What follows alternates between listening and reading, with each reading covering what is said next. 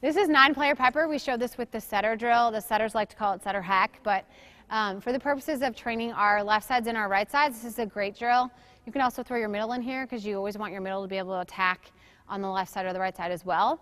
Uh, but what's nice about this is that, again, they, left sides and right sides, opposites, have so much to worry about. They have to block first, then they have to play defense, then they have to get out and swing. Okay? And sometimes they're also a live passer, so they're pulling back and passing, and then they have to get out and swing. So there's a lot for them to do. This drill, again, helps condition them. It helps them be smart and they have to hit from both sides of the floor. So they're hitting from the left side, and then when they cross the net, they're hitting from the right side. So we're practicing both of those skills. The goal is that they need to get seven to get out. Um, you can adjust that if you know you need to. If seven seems like too many, if your ball control is not excellent, you can move it down to five.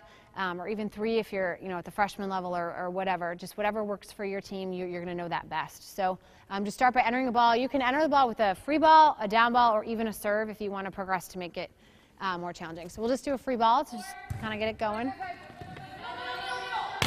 So they have one, two. And that's what I want. Allison uh, kind of looked like, oh, I maybe was, I want them to be aggressive. I want them to swing game like that was exactly what I want to see. I want my defense to have to work in this drill too. This isn't just about the hitters. It's about my setter. It's about my defense being ready, low, getting their feet to the ball. This is about everybody. This is really a whole team drill. Okay? They can also neutral, so they don't go back to zero unless the ball hits hits the floor. Okay, so they're on the opposite side of the net. I can enter with a down ball. They have, okay, so they're back to zero. That's okay. We want them to be smart and be aggressive. We got this. We got this drill. We own this drill. You got it.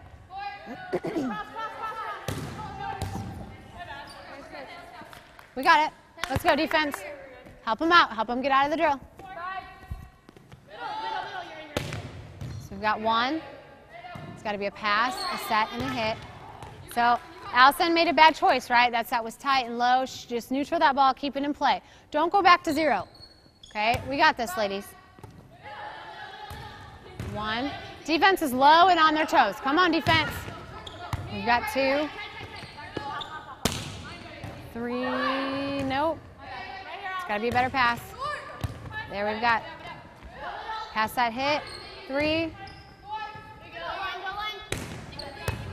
Four. Five. This is going to be a neutral. They're going to keep the ball in play. So we still have five. Six. Still going to be a neutral. Keep swinging aggressively. Seven. Okay, the, we had seven on the dig. So they, they accomplished their goal. They got their, their drill there. So again, it's um, nine-player pepper.